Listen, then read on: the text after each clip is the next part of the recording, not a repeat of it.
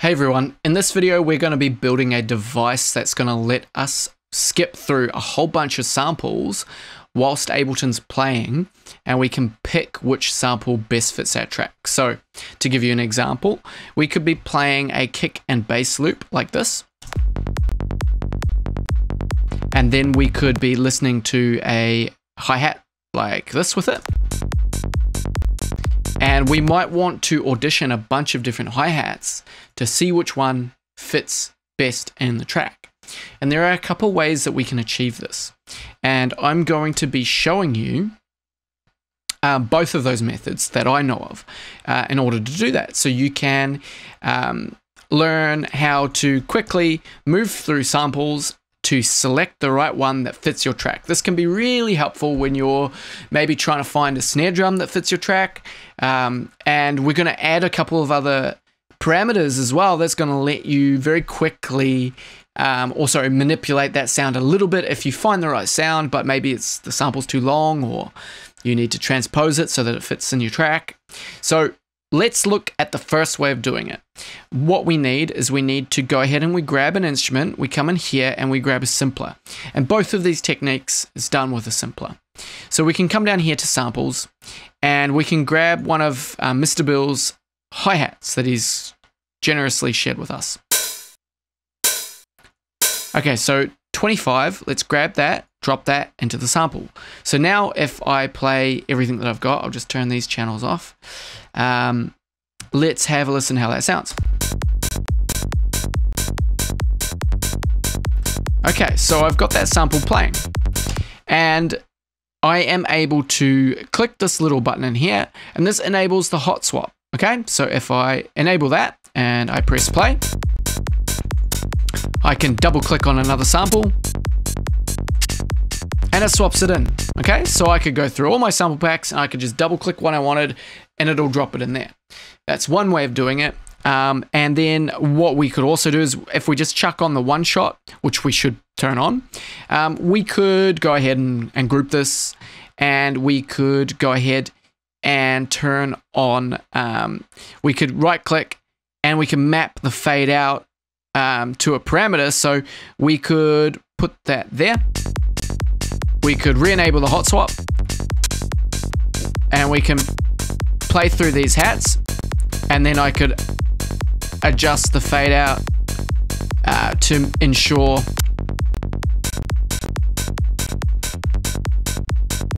that I've got the result that I'm after. Uh, and I accidentally dropped in a new sample.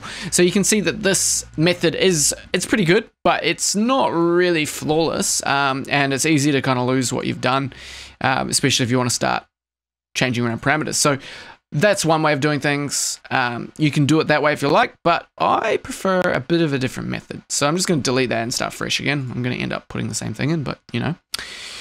Uh, so I'm going to grab a simpler, drop it back on that channel. All right, so let's uh, do something. We'll put it on one shot. We're to right click this and we're to go group. Okay, so we've made a group with that simpler inside of it. We can open up the chain selector so it shows us chains and then we can open up the macro knobs, okay? So we've got the sample, we can see the chains, see the macro, macro knobs. So what we're gonna do is we're gonna open up samples, we're gonna grab three different samples. Now, um, I'm gonna just do this simply and quickly, but later on I'm going to be releasing this device with um, all the bells and whistles and a whole heap of samples loaded into it. So just keep an eye out for that. So firstly, I'm going to load in this hi-hat and let's listen to it. Okay, so I've got the sample loaded in. What I want to do is I want to map a bunch of controls, okay? So I'm going to right click this and I'm going to map the fade in to macro 1, the fade out, sorry, macro 2, the fade out to macro 3, and then the transpose to macro 4, okay? The volume to macro 5, um, I'll right click that and set it to default. So negative 12 is the default value. Um, and then what I could do is I could um, grab a utility and I could pop it on the end of that one. And I could right click the balance and I can map that to macro um, that macro and I could right click and set that to center. Um, and then what I could do as well is mm, that's really all I want to do for now. Um, that's as involved as it needs to be for this very moment. So that gives us a whole bunch of things to play with. So if I right click that, set that back to default and play that again, I can tighten up that sample by using the fade.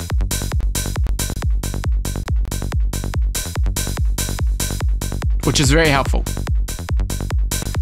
I could even fade in a bit for the attack.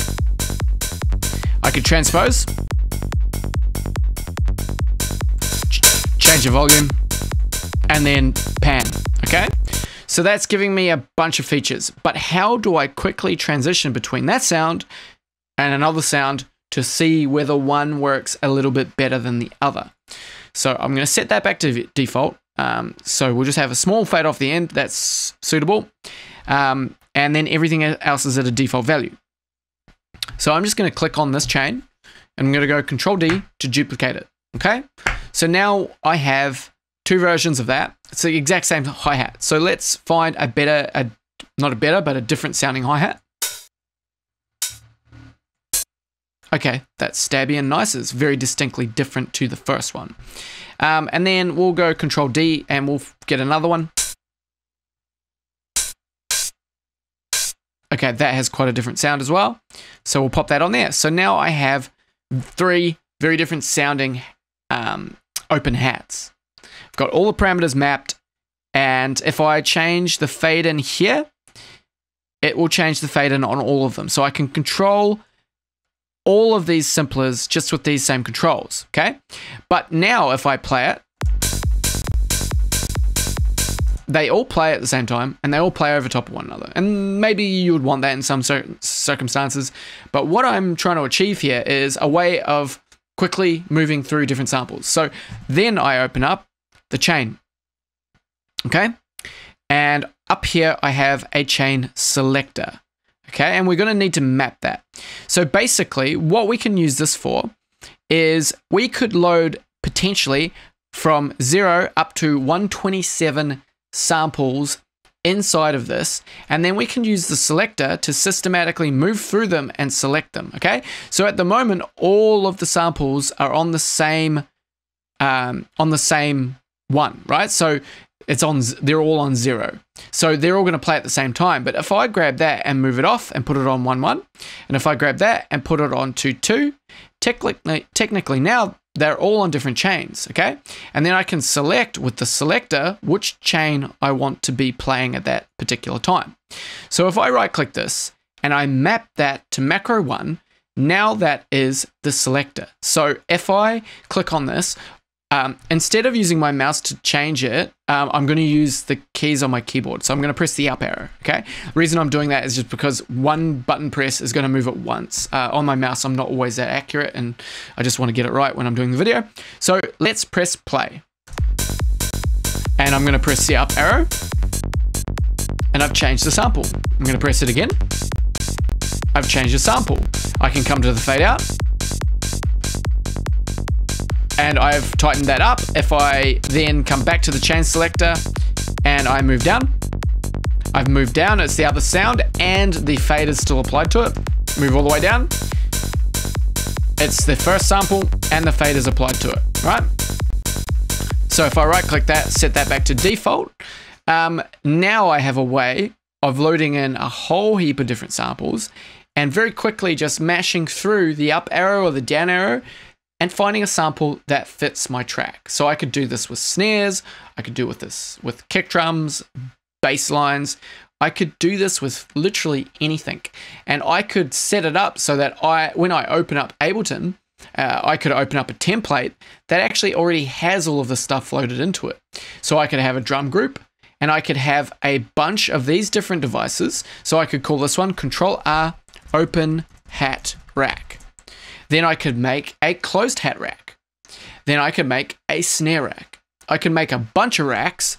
I could save them all as devices inside of here by just clicking, dragging, and dropping and, and naming it. And then anytime I wanted uh, hats and I wanted to start arranging them, I could just quickly write in the MIDI uh, and then I could go through all of my samples and find the samples that I like. I could even start mixing them a bit because I can pan them. I can transpose them to fit my it fit in my track a little bit better if I needed. Um, and I can control the volume. And you could put more parameters in there as well if you wanted to control different things.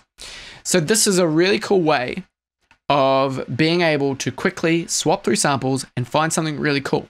So what I'm going to do is I'm going to make a open hat rack with 120 samples loaded into it and all of the stuff mapped.